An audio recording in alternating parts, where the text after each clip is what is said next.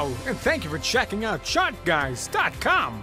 We're proud to be one of the most successful technical analysis communities online, teaching you the skills to become a more confident, effective, and informed trader.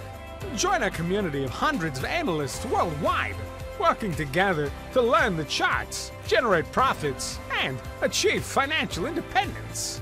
Join us for live daily chart analysis and market coverage, a thriving chart community, and access exclusive educational materials. We look forward to seeing you. Now, let's check out some charts. Well, that was in response to a lot of people who didn't like the new intro, so we got Christopher Walken to, to do the new intro for us. So hope that was enjoyable. Happy Sunday, everybody. We're going to look at the commodities here, and if you've been watching these videos that I update each weekend, we're looking on longer term time frames as that's where I feel the clarity in these patterns lies. And I'm waiting for these longer term patterns to break before I get active in the crypto or in the commodity space. So I've been very active in the marijuana sector, doing some day trading of some other regular stocks, also trading cryptocurrency, and I feel that the commodity space is going to be a target in the second half of 2019 for spikes in volatility once we break these monthly ranges that we're watching. So I'm waiting until then personally to move to that sector and capitalize on that volatility and opportunity as it arrives. And that has been my trading style for the past however many years. Wait for the volatility and the hype market to come around and then play it. So looking at DXY, the dollar on the monthly time frame is in a tightening range where we have our double top that we hit at 97.71 and our support maintaining the monthly uptrend is 95.03. If gold bulls are going to get any significant upside, in my opinion, the dollar is going to have to break 95.03. If we see a clear break for the bulls over the double top at 97.71 and get monthly continuation of the uptrend, which has been in play for the last oh 16 months, then that's going to be bearish for gold in the short term. So tightening range, we've been within this range for the last six months essentially, and we're patiently waiting. So the weekly time frame, we can see we have a bit of an uptrend, but even if we lose that support level of 95.74, it's not game over. It would increase the odds significantly that we will lose that monthly support, but at that point, it would only be a bear break of the weekly uptrend. And I'm watching this little weekly time frame. If you want to zoom in and act on shorter term time frames, we got our high, low of the pullback, lower high was 97.52, and we're now looking for the dollar to set a higher low compared to 95.74 and stay in this tightening weekly range. So we have a 6-month tightening range and we have a 6-week tightening range. The weekly range will certainly break before the monthly range and shift the odds of what is most likely on the monthly scenario. So, looking at gold and how it's shaping up as well, we know we have a long drawn out, many year, multiple year equilibrium on the monthly time frame. Higher low was 122.51, almost a double top at 1365, another higher low at 1160, a lower high at 1347, and now we're looking for a monthly higher low to form. if the bulls hold 1280, it is certainly going to favor the bulls in this monthly pattern because it'll be much closer to a resistance break than it would be to a support break. Where we stand right now, we're $57 from a resistance break, yet we are $130 from a support break. So that certainly favors the bulls overall. That being said, if the dollar were to break that monthly chart bullish, that would be a scenario, in my opinion, where the gold bulls are going to have to form a higher low, but they're probably going to do so in the mid to lower $1,200 range, depending on how strong that dollar breakout is. If the dollar loses the monthly uptrend, then we're going to increase the odds that gold bulls are going to break this pattern bullish after a bull flag. This is still a bull flag on the monthly time frame, in my opinion, and how this weekly pattern breaks is going to shift those odds. So same as the dollar, we've been in a tightening range here on gold even longer, eight weeks now.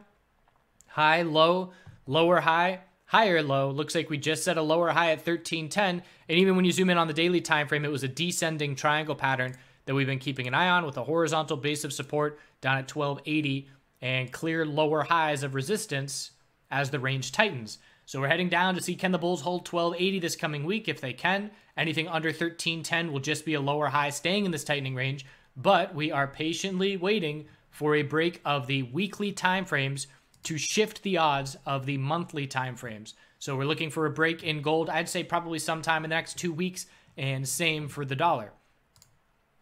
So GDX, we have a tightening range, high, low, lower, high, higher low was set at 2179. If we break 2179, we're looking down at 2140 as the key level. This is the weekly time frame, and that would give us our monthly further consolidation if that does break. So the weekly patterns are the most important short term for all these names.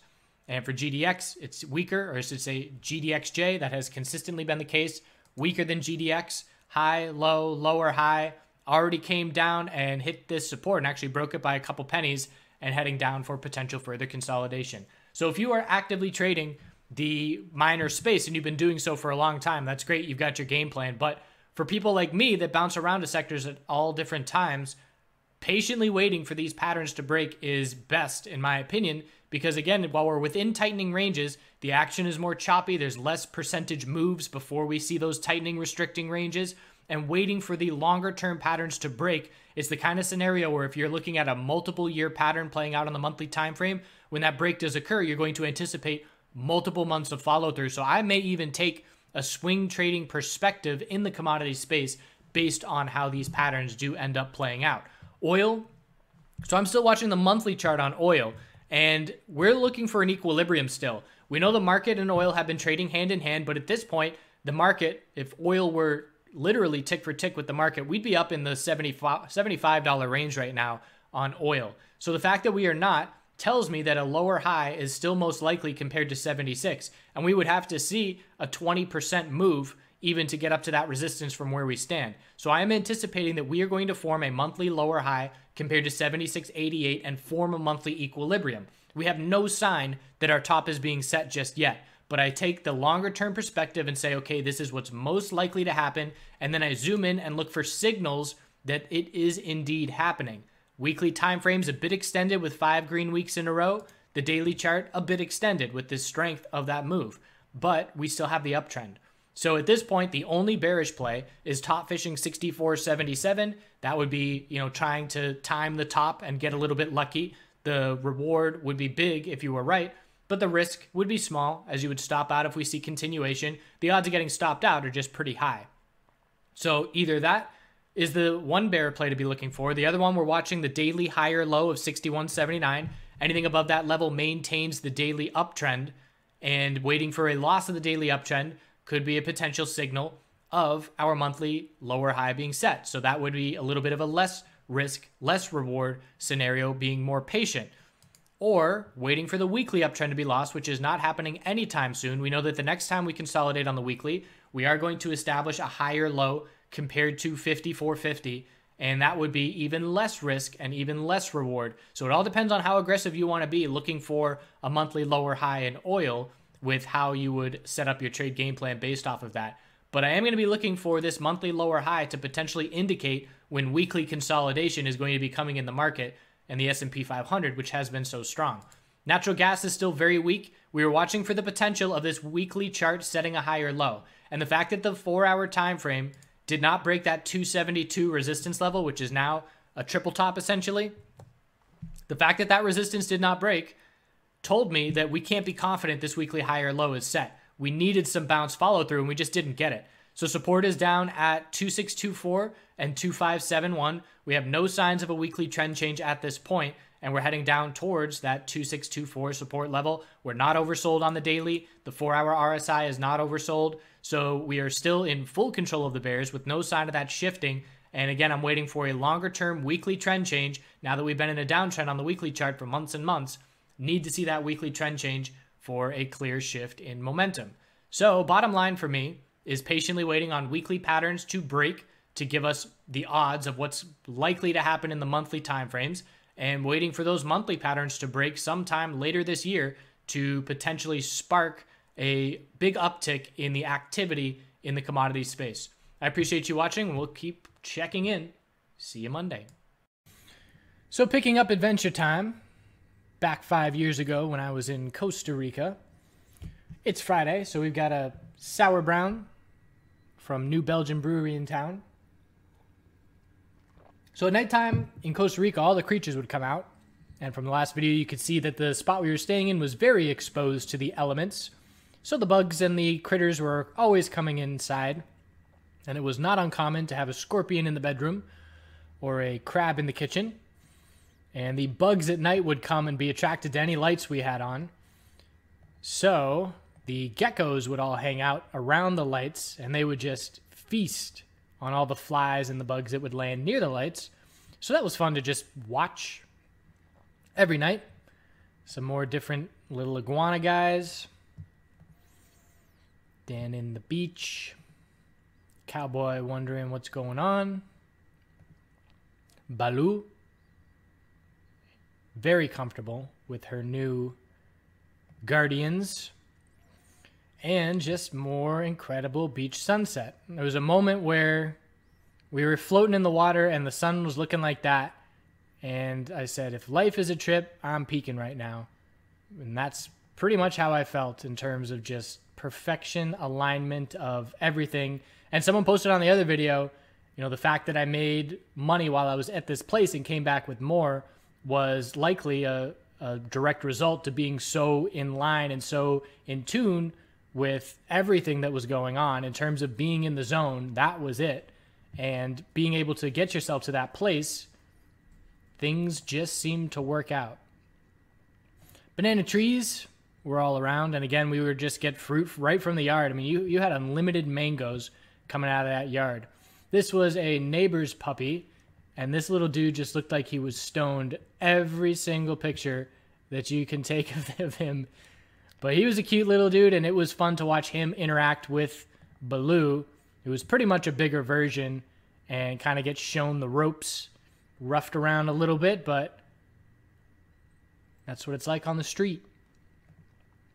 So for story time here at the end, I've told this story before, but if there's if there's a resume of my life or a life resume and what I'm good at, what I would list, it would be technical analysis, farming, rock hopping, and breaking up dog fights would be and ping pong. Ping pong's up there. But breaking up dog fights is something I've done a lot. When I was on the farm in Maine, we had two female dogs that were not spayed. And so they they did not accept. I mean, most times with animals, they accept their pecking order instantly. It gets determined very quickly, and that's that. But when there's two animals that do not accept it, there is constant posturing and battle for that top spot. And we had this dog who was a we had two Australian shepherds, and one of them would just herd the other one and just walk straight behind it and literally be right on its back legs wherever we went. And every now and again, the one who was getting followed would just get fed up and say, "Nope, we're this is going down right now," and they would go at it and draw blood.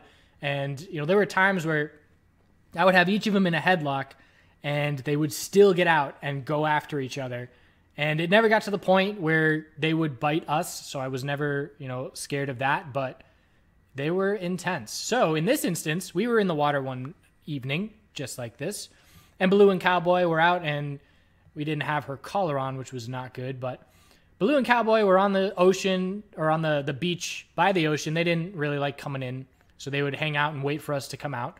And these four big dogs that looked like they just came off a Siberian mountain came out of the woods, and they were fine. They were just walking along, and they walked over, and we left the water to go say what's up to them. They looked like some really cool dogs. I don't know what breeds they were. They were giant and fluffy and probably very hot in Costa Rica. But there were no red flags. I have a, a very good sense of reading animal body language through my experiences on farms and things like that. And there was there was no red flags. And out of nowhere, one of them just snapped and got Baloo on her back real quick and had her jaws around Baloo's neck. And so I was standing right there and instantly ran as fast as I could straight up to her. And that's the kind of thing where you don't even think about it. It's just adrenaline, instant reaction. And threw all my body weight into the dog and, and nailed my knees into its, its back hind legs, pretty much into its butt. And that surprised the dog a lot. And so it yelped and I, you know, threw it to the side. And then Baloo got up and Baloo tried to go after the dog, so I had to keep them separated. And then my buddy picked up Cowboy and said, Heads up, Dan. And I looked up, and there were four dogs just surrounding me, all staring at me like they were just waiting to determine what the next move was. And for a second, I thought it was about to be a battle royale. But fortunately, they stood down and their companion limped off. And I felt really bad because I definitely hurt that dog. But saw it the next couple days and it was limping, but didn't break any bones or anything like that. So that was a big adrenaline rush and certainly a fun story to relive, but glad to protect Baloo. And after that, we had this bond where she knew I was alpha and she, there was this instant unspoken respect where it's like, I, it's hard to describe, but she knew I had her back and that was a fun moment. So that's it.